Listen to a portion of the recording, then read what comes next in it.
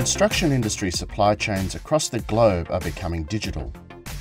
Traceability of building materials is increasingly important. GS1 standards, including global trade item numbers, are helping to make this possible. Modern buildings are complex. They have many parts and serve diverse purposes for society.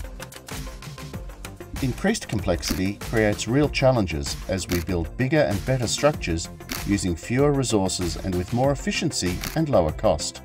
Structural and building performance issues have emerged in many parts of the world.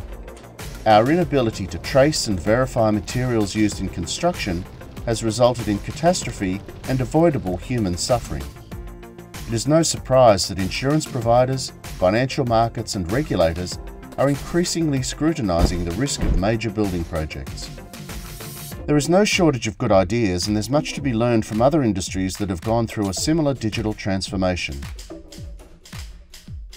The future is exciting, however we need to get the fundamental building blocks in place.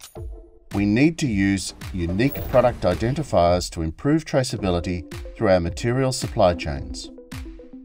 GS1 Global Trade Item Numbers, or GTINs, will make this possible. Globally unique product identification based on GS1 Open data standards make it possible to track and trace material through international supply chains, from manufacture to installation and maintenance.